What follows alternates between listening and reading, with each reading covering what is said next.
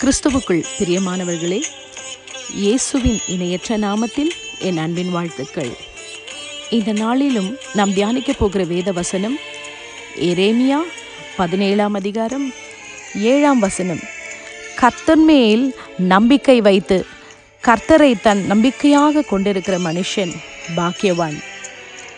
Canada தேசத்தில் உள்ள Niagara நீர்வீழ்ச்சி ஏற்படும் மழையுச்சியில் பெரும் காற்றின் குன்று என்று அழைக்கப்படுகிற ஒரு அழகிய பகுதி உண்டு.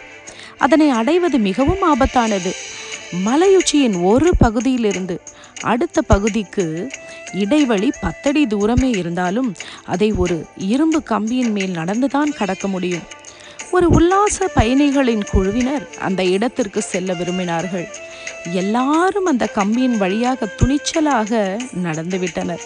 ஆனால் ஒரு பெண்மணி மாத்திரம் பயந்து கொண்டு வரமாட்டேன் வரமாட்டேன் என்று சொல்லிக் கொண்டிருந்தாள் நிலைமையை அறிந்த வழிகாட்டி அந்த பெண்மணிக்கு முன்பாக பல முறை நடந்து கடந்து காட்டினார். அப்பொழுதும் அவளுக்கு தைரியம் வரவே இல்லை. எனவே அந்த வழிகாட்டி தன் கையை நீட்டி என் கையை பிடித்து கொள்ளுங்கள் என்னை சார்ந்து கொள்ளுங்கள் என்று அவர் கூறினார் அப்படியே நடந்து பாருங்கள் என்றும் கூறி பார்த்தார்.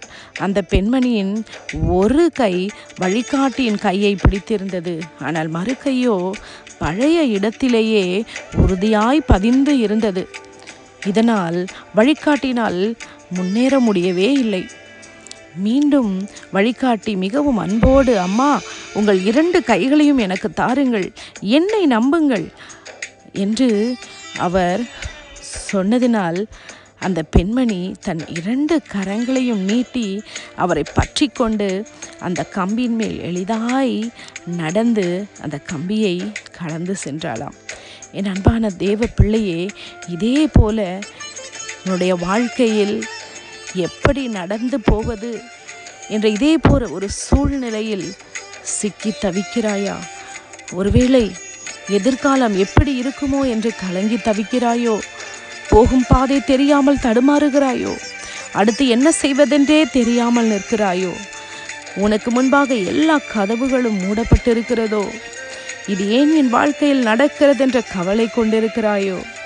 இயேசு தன் இரு கரங்களையும் நீட்டி உன்னை அவளாய் அழைக்கிறார்.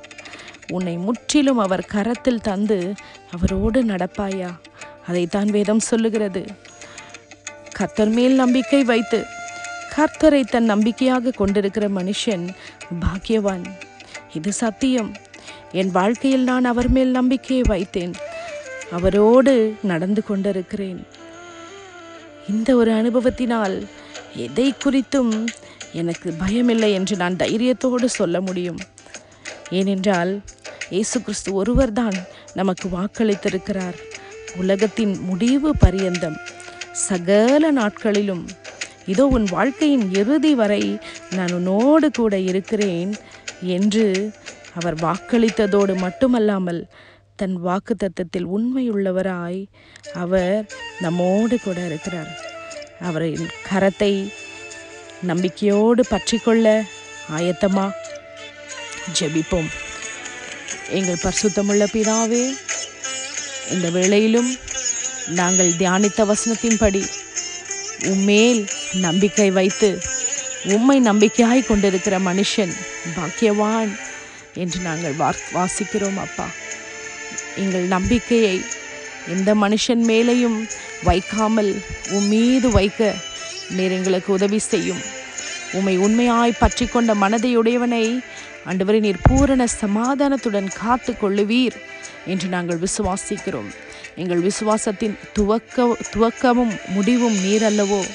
எங்களை ஜெயமாய் நடத்துகிறவர் நீர் அல்லவோ எங்கள் பாரங்கள் கவலைகள் துக்கங்கள் வேதனைகள் எல்லாவற்றையும் சுமக்கிறவர் நீர் ஆண்டவரே.